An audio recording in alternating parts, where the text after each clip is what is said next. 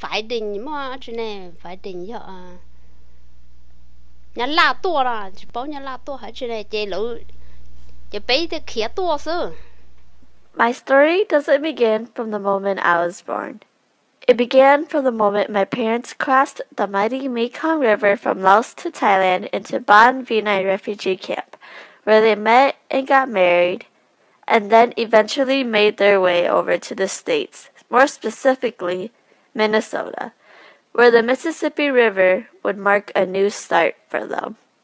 The story I want to tell is that of my mother. Upon their arrival to Minneapolis, Minnesota in 1993, my parents were trying their best to get situated in the American lifestyles. Without understanding English or the American culture, they found their first few months to be very difficult.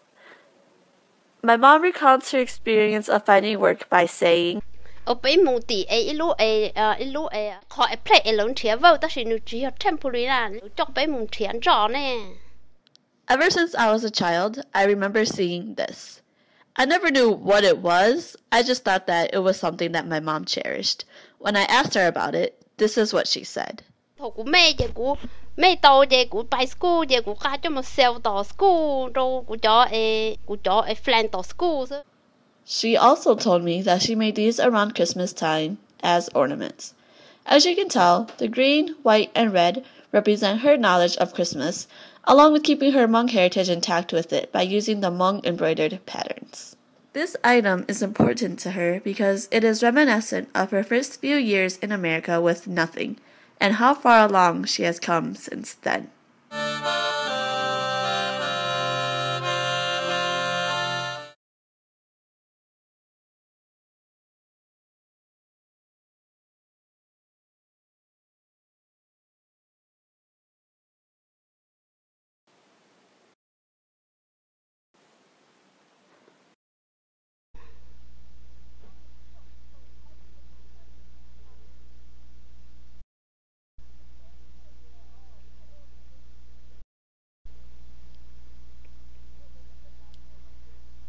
为啥？